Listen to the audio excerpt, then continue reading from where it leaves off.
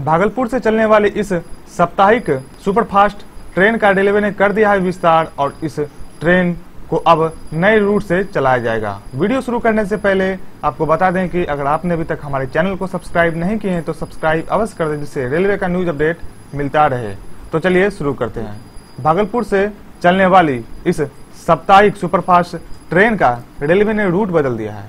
यह जो ट्रेन होगी, भागलपुर से यशवंतपुर जाने वाली अंग सुपरफास्ट एक्सप्रेस के बारे में। इस ट्रेन का परिचालन शुरू होने के बाद नए रूट से यह ट्रेन चलेगी और यह ट्रेन दानकुनी के रास्ते बट्टानगर खड़गपुर भद्रक स्टेशन के रास्ते जाएगी। रेलवे की ओर से जारी की गई कई ट्रेनों के टाइम टेबल में हावड़ा से इस ट्रेन का ठहराव हटा दिया गया है। दानकुनी स्टेशन पर अंग एक्सप्रेस का नया ठहराव दिया गया है और अंग सुपरफास्ट एक्सप्रेस भागलपुर से यशवंतपुर तक जाती है।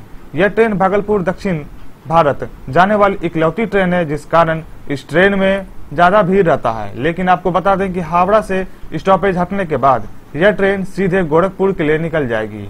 यह यात्रियों के लिए सुविधाजनक होगी, क्योंकि इस ट्रेन से कोई यात्री हावड़ा तक की यात्रा कम ही करते हैं। जिन्हें भागलपुर से हावड़ा जाना होता है, वो गया हावड़ा या फिर जमालपुर हावड़ा एक्सप्रेस से ही जाना पसंद करते हैं, जिस कारण रेलवे ने इस ट्रेन का रूट बदलकर नए जगहों को जोड़ दिया है। आने वाले नेक्स्ट वीडियो अपडेट के लिए चैनल को सब्सक्राइब अवश्य करें।